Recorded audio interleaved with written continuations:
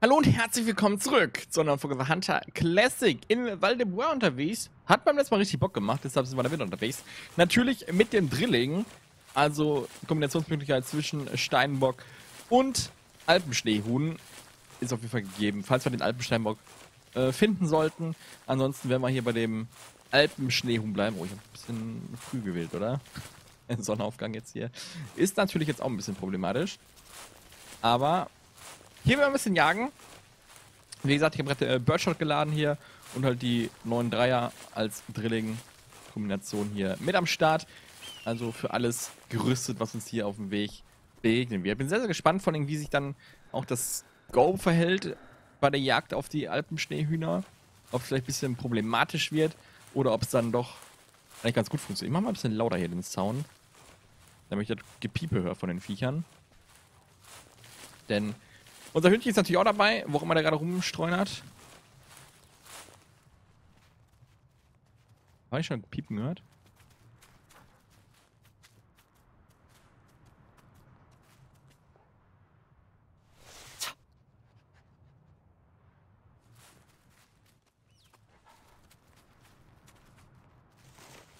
Ja, ne? Er ist noch. Er ist noch schnell unterwegs.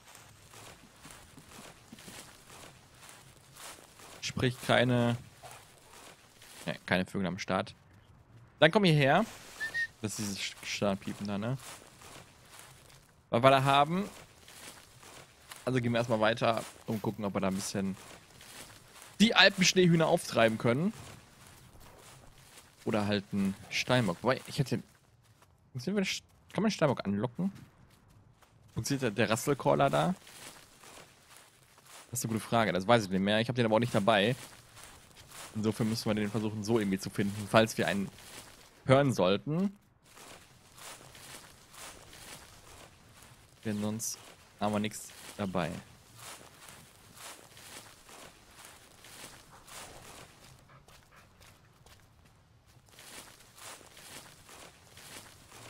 Sonst auch nur dieses Standardpiepen hier, glaube ich. Keine alten Schneehühner. Nein, das ist nur dieses normale Piepen. Also gehen wir einfach mal weiter. In der Hoffnung, irgendwo welche zu finden.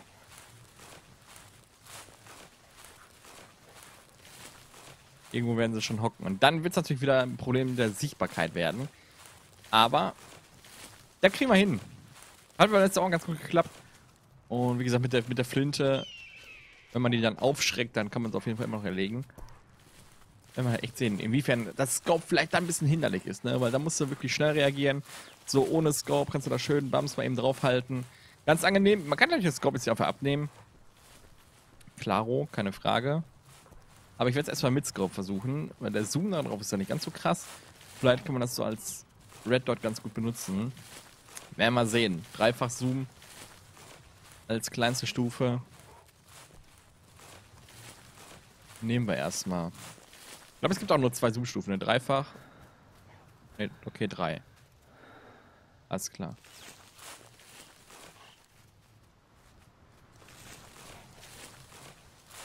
Drei gibt es tatsächlich. So, aber ansonsten haben wir bis jetzt noch nichts gefunden an jagbarem Wild. Ich kann den Hund nochmal ansetzen, aber ich glaube ehrlich gesagt nicht, dass hier irgendwer in der Nähe ist.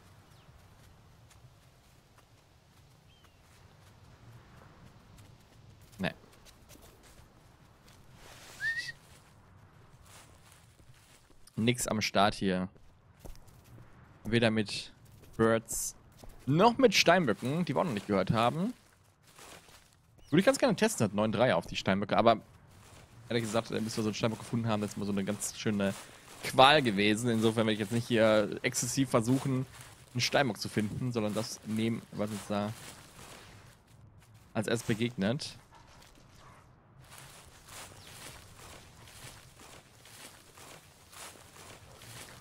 Gucken, was der Blick ins Tal bringt. Ich jetzt da noch keine Fährten oder sowas gefunden, ne? Das ist ein bisschen... Bisschen mau. Aber auf dem Felshang sehe ich auch nirgendwo was rumlaufen.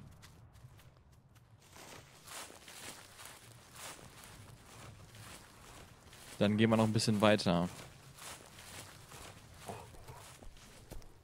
Irgendwo muss ja was kommen. Wir gehen jetzt erstmal ins Tal runter. Erstmal runter ins Tal. Obwohl der Boy ist natürlich jetzt ja auch schon ganz gut, weil sie ja die Rennerdistanz erhöht haben. Insofern sind diese Berghänge hier schon ziemlich interessant. Ich werde mich da mal vorne auf die Kante begeben und dann mal mit dem Fernglas ein bisschen runter gucken, ob wir da irgendwas ausmachen können. Das ist natürlich jetzt hier schon ein Vorteil, dadurch, dass wir das wirklich erhöht haben. Dass man die noch einen Ticken eher sieht, noch einen Ticken besser sieht, als das vorher der Fall war. Also mal schauen, was es hier das Fernglas hergibt. Aber ohne Fernglas sehen wir schon keine Bewegung.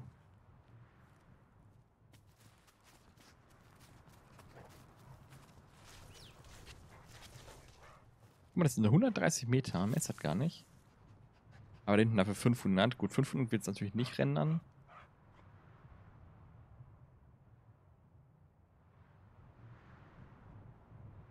Und ansonsten sehen wir da auch herzlich wenig. Aber da noch nichts aktiv. Hoffen wir, dass da hinten auf der Fläche irgendwas zu holen ist. Ich weiß auch nicht, wie weit die Renndistanz ist. Äh, 400 Meter.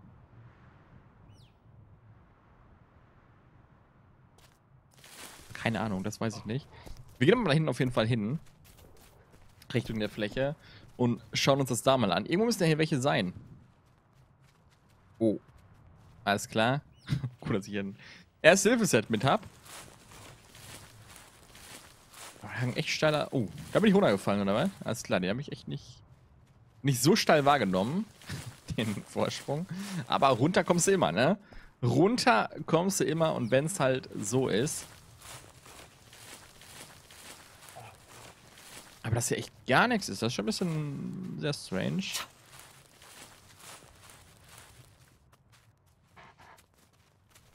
Ne, der Hund macht doch keine Anstalten.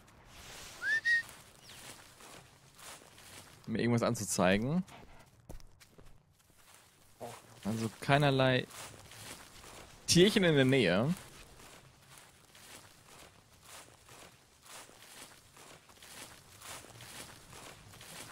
Also gehen wir weiter. Wenn wir da vorne auf Plateau nichts finden, dann müssen wir echt äh, tatsächlich cutten.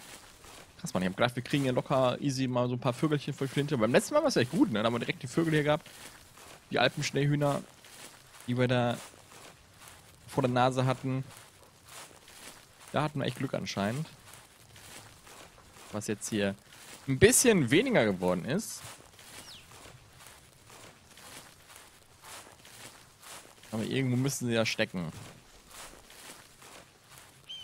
Da müssen wir nur halt auch mal den Hang da hochkommen, ne?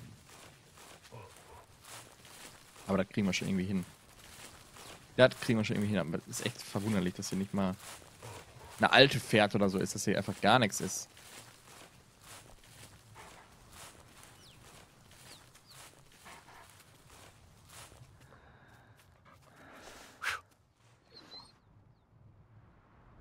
Mad Hund? Hast du mir wohl verstanden oder nicht? Warum versteht er mich nicht? Da flattern sie nämlich. Da flattern sie nämlich schon. Da waren sie doch vor mir.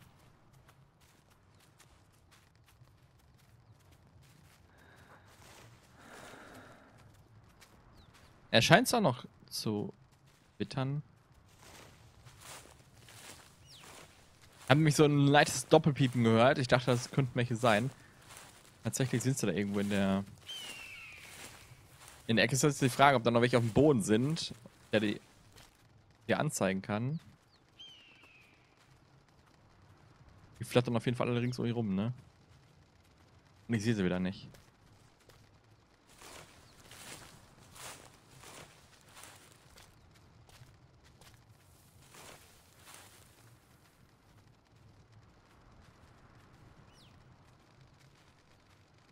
Boah, dieses Dauergeflatter hier, ne?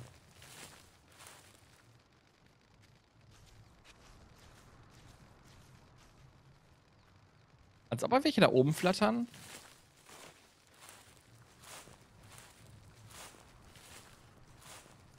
Ich habe sie einmal kurz gesehen, so ganz klein. Die sind halt einfach so auch so winzig, ne? Er steht aber noch nicht vor.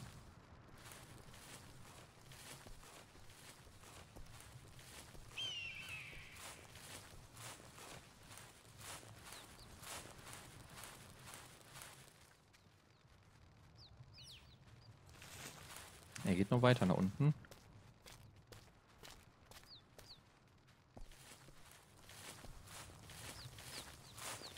Jetzt hat man dieses leise Piepen, ne?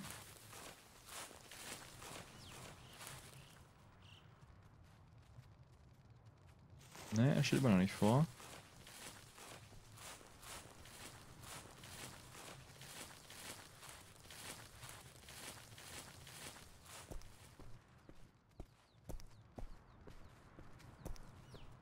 Steht er jetzt vor? Oder wo ist er hin? Weil er hinterm Felsen irgendwo ist, ne? Den nicht.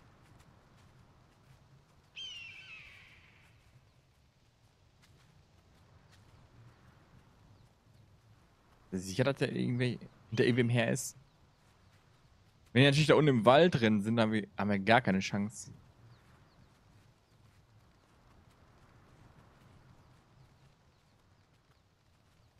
Haben wir echt mal, dass das ein Soundbug ist mit diesem Geflatter.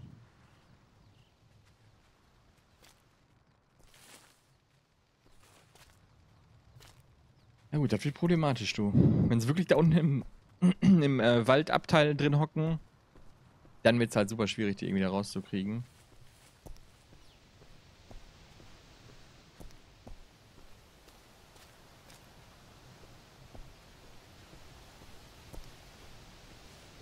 Da müssen wir dann super schnell reagieren irgendwie. Aber wahrscheinlich ziehen die auch einfach weiter die ganze Zeit, ne?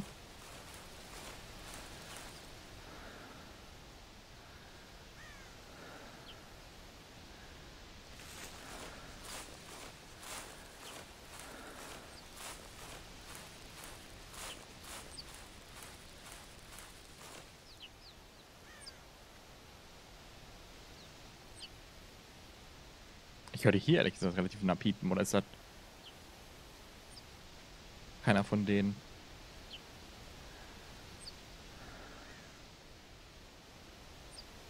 Ich bin mir sicher, ob der eine hat, ehrlich gesagt.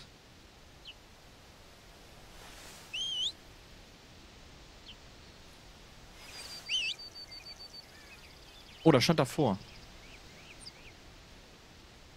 Ah, da stand davor, ey. Jetzt hat er wieder 52. Aber ich, warum möchte ich denn hier piepen? Oder ist das dieser. Ja, da flattern sie. Ja, die waren echt da unten im Wald irgendwo. Das war dieser Tanzsound hier einfach, ne?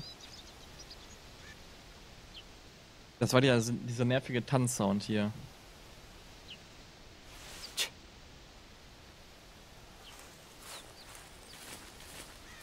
Ja, aber da unten im Wald kriegst du nicht raus, ey. Da krieg ich die einfach nicht gescheit geschossen. Das war ein Hund? Oder war das ein Steinbock?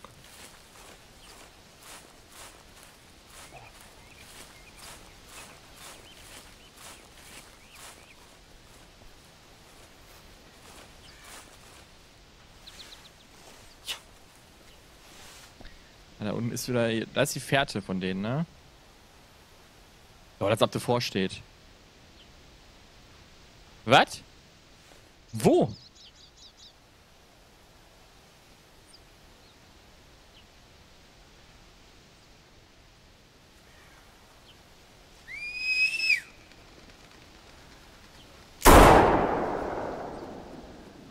Da sitzt er in der Wiese, ne? Da sitzt du da ehrlich in dem kleinen Busch da drin. Aber fand ich mit dem Scope gar nicht so hinderlich, ehrlich gesagt. Fand ich ganz okay mit dem Scope. Guter Treffer, ein Schuss. War auch nur einer, glaube ich. Mehr waren, glaube ich, gar nicht da. Also vorher schon noch, die haben wir gehört, aber jetzt hier in dem näheren Umfeld war nur noch dieser einer über. Und den haben wir erlegen können. Den haben wir erlegen können. So, männliches Alpenschneehund sogar. Machen wir natürlich einen Trophy-Shot von mit dem Drilling.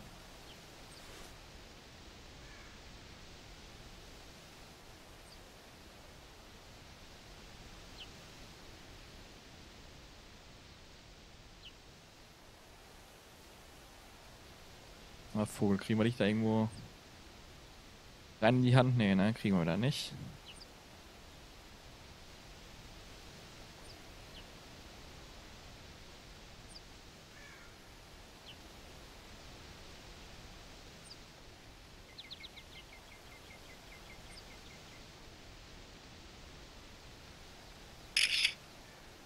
Da flattert es schon wieder.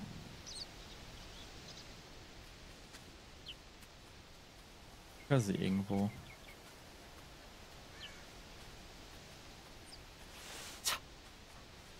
...183 Sekunden? Warum denn so lange? Ja, das ist natürlich jetzt problematisch, weil in der Zeit kriegen wir sie dann nicht mehr gesucht. Okay, krass. Drei Minuten ist also ganz schön lange. Das heißt, wir müssen jetzt irgendwie so einfinden. Ich versuche mal auf die Fläche zu kommen. Ich weiß, dass die da unten irgendwo flattern, aber da unten im Wald wird es schwierig, die von alleine zu finden. Deshalb haben wir eigentlich nur die Chance, jetzt hier auf der Fläche irgendwas zu sehen, irgendwas zu bekommen. Vielleicht noch eine Steinbock oder so, der irgendwo in der Nähe ist. Aber ansonsten wird es halt echt relativ problematisch. Hier haben wir noch, guck mal, Steinbock. Fährten haben wir schon, die aber auch nach da hinten irgendwo gehen. Aber wir haben eigentlich nur hier die Möglichkeit, noch auf der halbwegs freien Fläche irgendwas zu finden.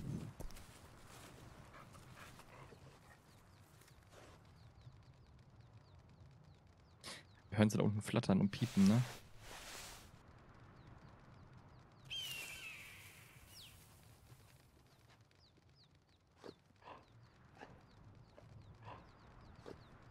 Aber ohne Hund erfind die mal.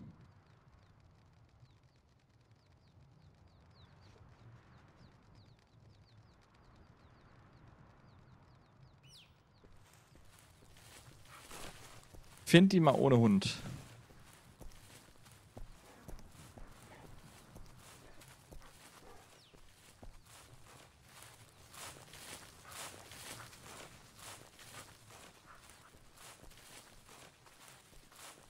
Hat dieser schmale Waldstreifen hier, aber der macht so viel schwerer.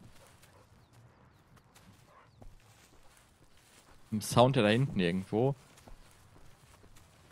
Ich weiß nicht, wie weit man das Flattern hört, ey. Das scheint man echt ziemlich weit zu hören.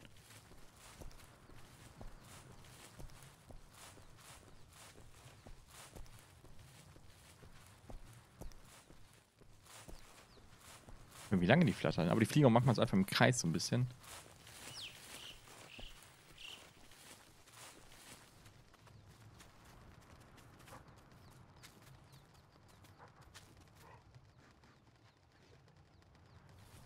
Hört die relativ laut, ne?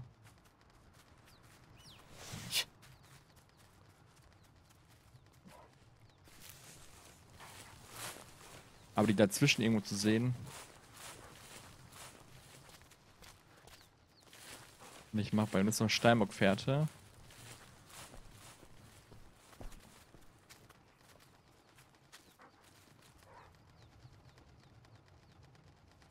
Wie laut die flattern.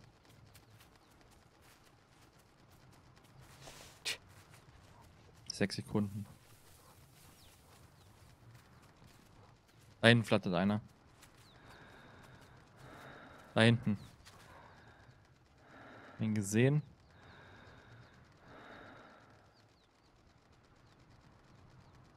Ich habe ihn auf jeden Fall mal kurz gesehen. Ich gucke mal, ob einer auf dem Boden ist.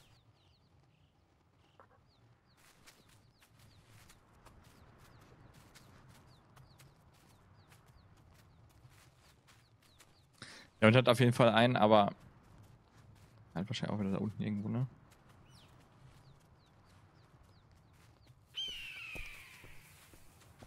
Lass ja auch mal ein bisschen Vorsprung. Wir haben nur die Chance, dass wir uns da gut positionieren und dann einen schnellen Schuss drauf kriegen. Und ich höre sie ja piepen irgendwo, ne? Aber.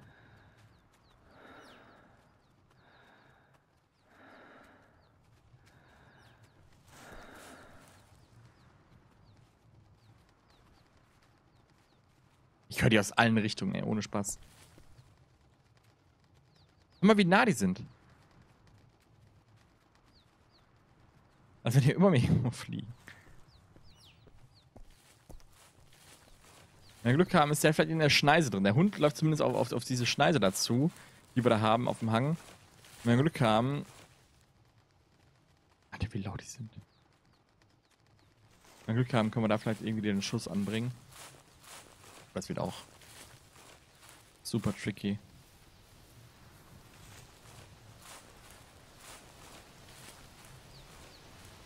Weil musst du die halt dann auch sehen in dem Moment, ne?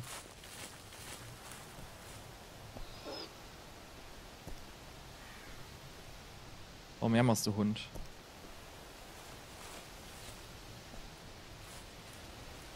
Warum jammerst du?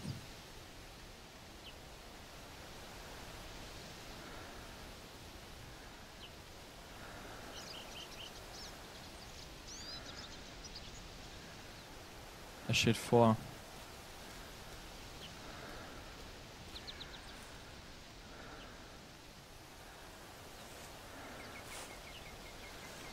Und jetzt sagen wir mal, wo da so ein Huhn ist. Ich habe keinen blassen Schimmer, wo da ein Huhn sein soll. Wahrscheinlich hinter dem Hügel. Aber wir haben ja vielleicht den Himmel als Möglichkeit. Wenn er natürlich nach rechts wegzieht, haben wir ein Problem.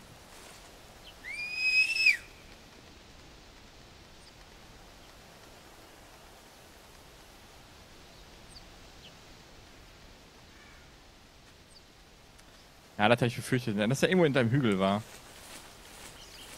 Ja, aber irgendwo hinter dem Hügel, den haben wir nicht, nicht drauf bekommen.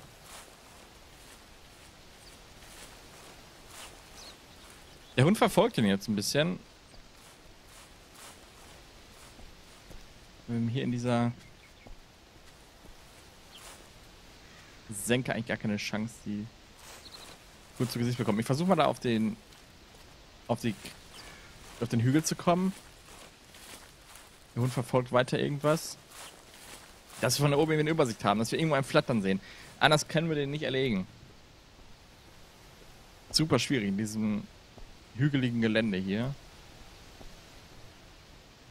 Um halbwegs guten Schuss zu kommen. Wo ist er denn jetzt? Oh, der steht schon davor. Der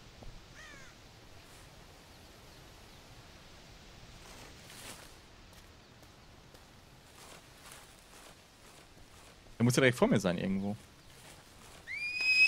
Ist er auch. Ist er auch. Der Schlingel. Da siehst du mal, ne? die sitzen vor dir. Die sind so getan. Du siehst einfach gar nichts. Ohne den Hund. Wäre ich so aufgeschmissen auf die.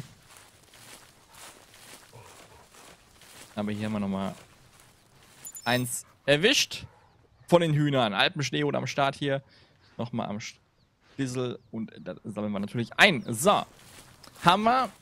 So können wir natürlich jetzt die ganze Zeit weitermachen, aber das ist einfach das auch so, so schwierig. Hier im offenen Gelände geht es dann wahrscheinlich wieder ein bisschen besser, aber unten im Wald war schon trickige Nummer. Zwei Stück haben wir erwischt. Steinbock haben wir noch nicht gesehen, also Drilling eigentlich gar nicht gebraucht, aber ähm, Scope kann man auch für, für Flugwild benutzen.